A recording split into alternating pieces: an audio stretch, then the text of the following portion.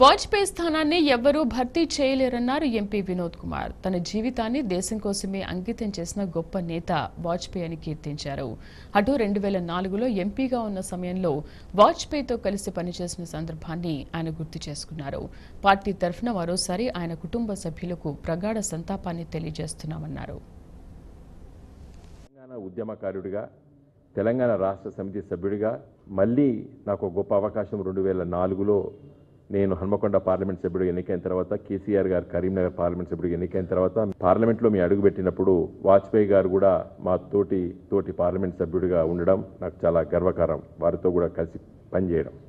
తెలంగాణ ఉద్యమానికి కూడా మరి వాజ్పేయి గారు వారు ప్రధానమంత్రి ఉన్న సందర్భంలో పట్టినే ఉద్యమాన్ని ఉవ్వెత్తున మరి ఈ ఉద్యమాన్ని నడిపినటువంటి నాయకుడు కేసీఆర్ గారు వారి దృష్టిలో ఉంది.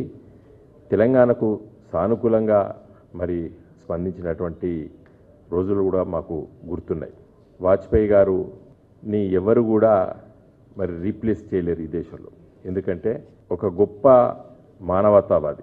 వారు బ్యాచులర్గా ఉండడానికి కారణం కూడా మనకు అర్థమైంది ఏంటంటే తన జీవితాన్ని మొత్తం కూడా దేశాని కోసం అంకితం చేసినటువంటి వ్యక్తి. పార్టీ తరఫున ఇదివరకు గౌరవ ముఖ్యమంత్రి గారు సంతాపం తెలియజేశారు నిన్న. మళ్ళీ ఒకసారి మీడియా ద్వారా కూడా మా పార్టీ వ్యక్తిగతంగా మేమందరం కూడా సంతాపాన్ని తెలియజేస్తున్నాం.